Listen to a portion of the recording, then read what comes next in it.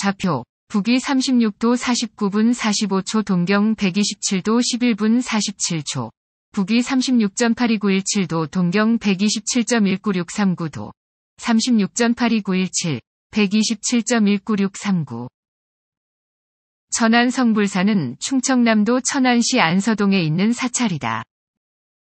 1984년 5월 17일 충청남도의 문화재자료 제10호로 지정되었다.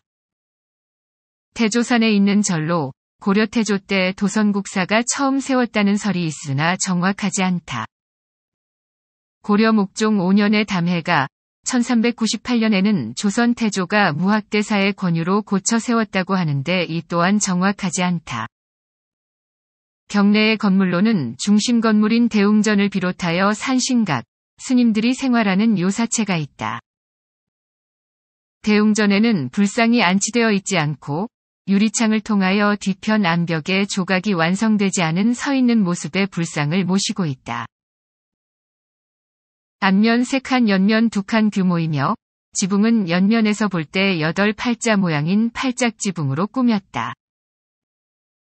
설화에 의하면 고려도선이 이곳에 왔을 때 백학 한 쌍이 대웅전 뒤쪽 암벽에 불상을 조각하고 날아간 자리에 성불사를 지었다고 한다. 실제로 암벽에는 휘미 하나마 불상이 새겨져 있다.